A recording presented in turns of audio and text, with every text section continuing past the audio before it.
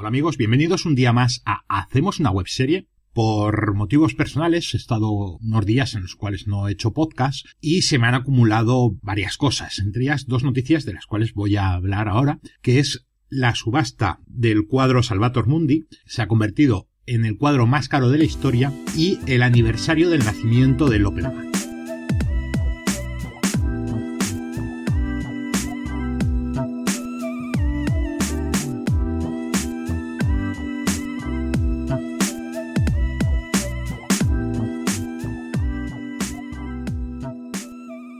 Salvator Mundi es un cuadro que unos atribuyen a Leonardo y otros dicen que no es de Leonardo. Sea como sea, eh, se ha convertido en el cuadro más caro de la historia, ya que alcanzó el precio de 450,3 millones de dólares en la subasta, que al cambio sería unos 382 millones de euros, cantidad nada desdeñable, convirtiéndose de esa manera en el cuadro más caro de la historia.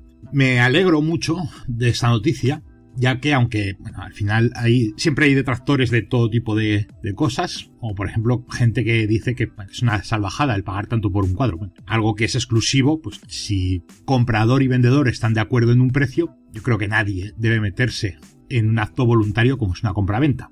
Bueno, más voluntario por parte del comprador que del vendedor. El vendedor ha tenido que vender esto por, para pagar su divorcio, bueno. Pero bueno, sea como sea, si alguien está dispuesto a pagar una cantidad por un bien, ese es el precio que vale ese bien. Y me alegro porque ha, superado al anterior cuadro eh, más caro de la historia hasta hace unos días, hasta que se vendió el Salvator Mundi, que era el Cuando te casas de Paul Gauguin, que aunque exista la polémica esta si es de Leonardo o no es de Leonardo, no hay más que ver los dos cuadros para, para ver que, que Salvator Mundi pues, pues vale mucho más.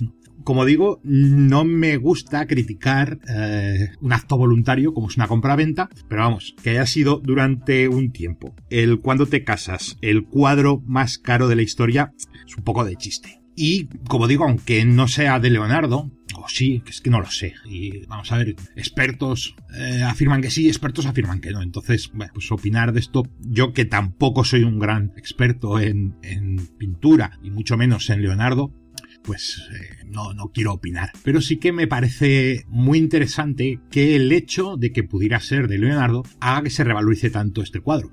Leonardo es un personaje que siempre me ha acompañado desde prácticamente desde niño. Varias personas siempre me lo han puesto como ejemplo y un poco he intentado, eh, aunque sea muy pretencioso esto, he intentado imitarle, ¿no? He intentado eh, conocer distintas ciencias, distintas artes, intentar mezclarlas y es que ya en mi casa, con, mi familia, pues siempre me habían nombrado muchas veces, pero sobre todo cuando de crío iba a alijar al, taller de un, señor que había sido oficial en, los certales. Eh, este me lo nombraba muchas veces. Y luego otros, otras personas que también han pasado por ese taller, por esa escuela taller de los certales, muchos lo nombran de forma sistemática, como el ejemplo a seguir. Además, eh, me, hace, me hace gracia porque suelen nombrar a Leonardo y a Herón el Mago, que es Leonardo es más normal que la gente lo nombre, pero a Herón, Herón, investigalo un poco, pues también era un poco Leonardo, pero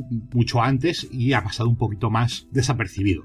Como digo, no sé hasta qué punto tiene vínculo el taller de los certales con Leonardo o, por qué varios, varias de esas personas que eh, han pertenecido a esa casa lo nombran, pero sí que es, mm, es, significativo. A mí siempre me ha llamado la atención esa admiración que tienen pues, esas personas que han trabajado ahí por este personaje. Yo sospecho que es un poco por la filosofía de esa empresa y sobre todo de la parte formativa, de la escuela taller. Es que eh, todas las personas que se formaban en, esa escuela taller, aunque era de banistería y al final una persona pues se especializase en un campo, pues al final fuese barnizador o fuese tallista o fuese banista o lo que fuera, todos eh, recibían una formación y todos conocían las distintas fases de la, construcción del mueble. Desde el diseño y el despiece, además es muy bonito ver los planos de los muebles de los certales, ya que no lo hacían a escala, sino que lo hacían a tamaño real. todo el, plano y el despiece, pues, como digo, a tamaño real en papel. En esa época pues, no había ordenadores cuando, cuando se fundó. Y bueno, al final cerró los certales a principios de los 80 Así que aunque ya existían los ordenadores, tampoco estaban tan, tan difundidos como ahora. Como digo, pues eh, aprendían a diseñar, a hacer el despiece, a barnizar, a tallar, a trabajar el bronce, que es una de las características de ese taller, los bronces fantásticos de los certales, eh, la banistería, hacer marquetería, o sea, conocían todo el proceso. Aunque luego, como digo, pues había gente que se especializaba en una cosa, en otra, o los que desarrollaban todos o casi todas las fases de la construcción del mueble. Y eso es lo que hacía que sus muebles fueran tan prestigiosos. Bueno, de hecho fue proveedor de la Casa Real española y de ahí dio el salto ya a las grandes casas a nivel mundial. Y además hacían otra cosa que también me lo nombraban muchas veces cuando cuando buscaban el paralelismo con Leonardo y era hacer, por ejemplo, sus propios barnices.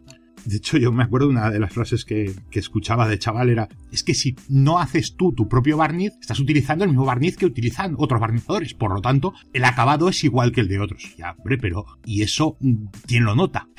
y me, acuerdo una, respuesta muy bonita que me decía este, este banista. Yo, digo, qué maravilla, ¿no? O sea, qué, qué, qué, qué fantástico alguien que está tan enamorado de su trabajo, que le importa un carajo lo que opinan los demás, y aunque los demás opinen que es un buen trabajo, si él no lo considera perfecto, no es perfecto. Entonces, bueno, genial. Y como digo, eso siempre me, lo comparaban con Leonardo, que también siempre me decían que hacía sus propias pinturas. Y de hecho, una cosa que el, de esa, de esa época, de cuando digo de crío, iba a lijar cuando salía de la escuela, era el hacer pues, los, propios tintes mezclando cola con, pues, con pigmentos. Es una cosa que debía hacer en su momento Leonardo, aunque, bueno, ahora mismo las colas son distintas. Eh, yo, por ejemplo, suelo comprar una cola súper concentrada que cuesta un 5 euros y medio, escasos, ¿no? 5,30 me parece que cuesta, un kilo, y no merece la pena el fabricar la propia cola. Sin embargo, eh, como digo, los ebanistas viejos, los de toda la vida, y por lo tanto supongo que Leonardo también lo haría, eh, más que nada porque no existía la tecnología que existe ahora, cocinaban sus propias colas a, base de los tendones, de la piel, de los huesos de los animales. Además era una cosa horrorosa el olor que dejaba ese, ese proceso de la fabricación de la cola y el estar pues eh, más de mediodía dejando eh, que cociese esa, esa cola.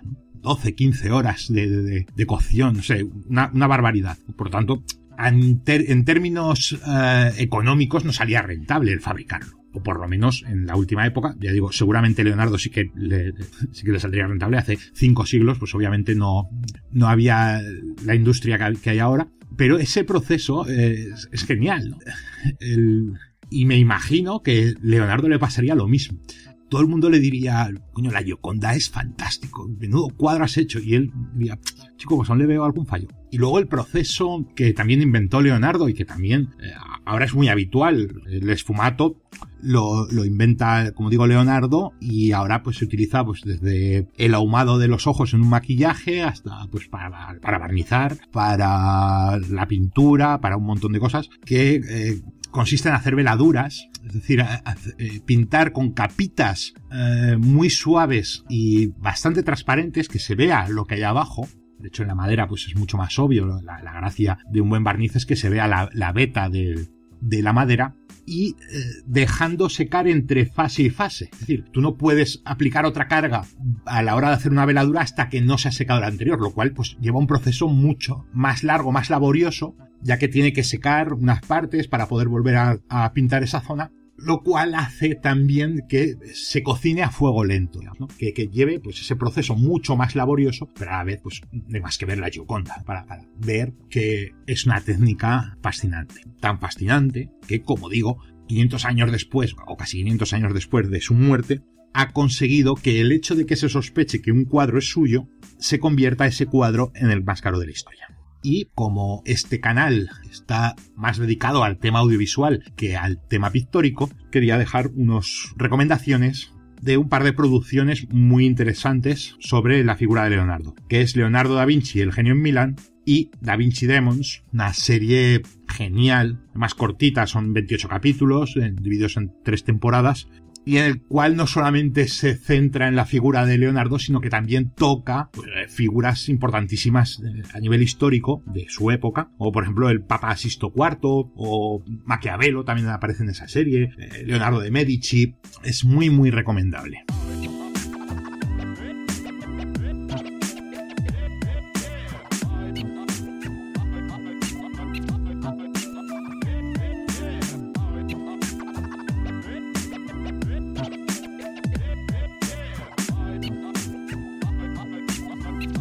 Y la otra noticia de estos días es que el 25 de noviembre fue el aniversario del nacimiento de Lope de Vega. Además, eh, no lo vi en los medios tradicionales, como les gusta a algunos decir. Me parece un poco, por lo menos curiosa esta, esta definición, ya que lo vi en, estas imágenes que pone Google, el logotipo que pone unas imágenes, pues ahí aparecía eh, Lope de Vega. Anda, entonces miré y, vi que era el, el, aniversario de su nacimiento. Lope de Vega es también otro personaje que siempre me ha fascinado. De hecho, yo cuando tuve la oportunidad de irme a, a estudiar y a trabajar a Madrid, no me fui a Madrid realmente.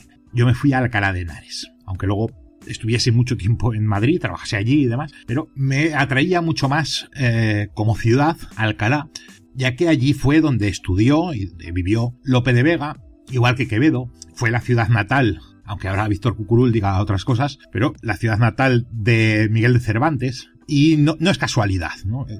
que tres personas tan grandes, solamente faltaba Góngora, tres de los cuatro escritores más importantes del siglo de oro español y tres de los escritores más importantes de la literatura universal coincidiesen en la misma ciudad y en el mismo tiempo, nos puede hacer una idea del caldo de cultivo que se respiraba en Alcalá. No es casualidad que surjan estas figuras de la misma ciudad. Sí que es cierto que eh, los genios nacen de forma espontánea pero tienen que encontrar un caldo de cultivo donde desarrollarse intelectualmente, donde conocer a otros escritores, donde nutrirse, para poder desarrollar, por lo menos llegar a, esa altura y esa calidad literaria, como es el caso de estos tres escritores.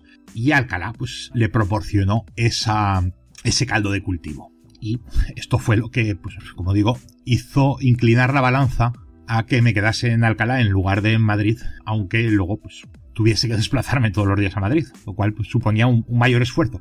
Pero no me arrepiento y de, hecho mm, yo si, si volviera a irme otra vez a Madrid, me volvería a ir a vivir a Alcalá.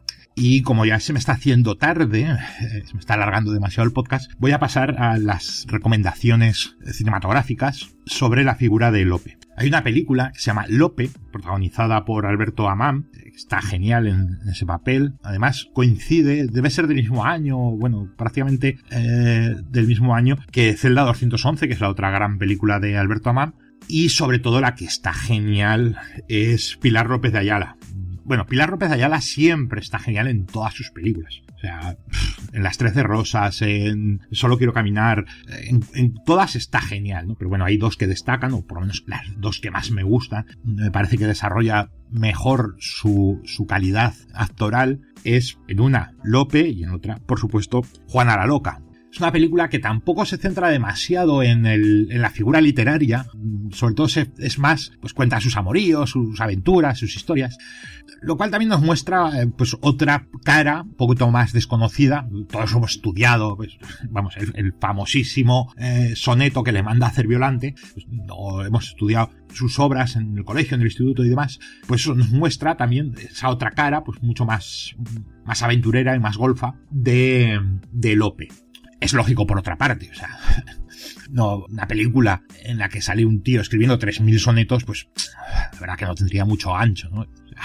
y mejor todavía, a mí me gustó más, pareció sobre todo muy interesante ese formato de, de falso documental, una película que produjo Televisión Española con motivo del cuarto centenario de la muerte de Cervantes, que se llamaba Cervantes contra Lope, fantástica. Además, también unos actorazos de, escándalo. De Cervantes lo interpretaba Emilio Gutiérrez Cava y a Lope eh, José Coronado. Increíbles los dos. Bueno, increíble toda la producción, ¿no? Ya digo, desde el guion hasta la, realización, la iluminación, el vestuario, la interpretación, todo, todo ya que pues ambos escritores, tanto Cervantes como Lope, tenían ahí sus más y sus menos, eh, bueno, de hecho Cervantes pues le tenía un poco de tirria a Lope, pese a todo, eh, sus dos motes más conocidos, el Fénix de los Ingenios y Monstruo de la Naturaleza, se los puso precisamente Cervantes. Entonces, bueno, pues podían tener sus más y sus menos, pero claro, obviamente reconocía la grandeza de este autor y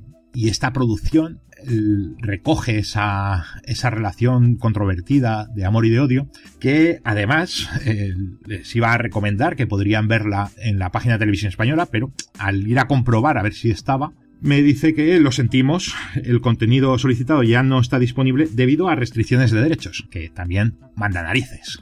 Una producción para una televisión pública financiada con el dinero de todos los españoles tenga problemas con el tema de los derechos. Pero bueno, eso es harina del otro costal y estamos aquí hablando de Lope, estamos hablando de Leonardo y no quiero alargarme con temas accesorios. Simplemente reflexionen sobre el tema. Muchas gracias por haber escuchado este capítulo y les espero, espero que mañana, espero pronto, con más temas relacionados con el sector audiovisual, con las artes y con la tecnología.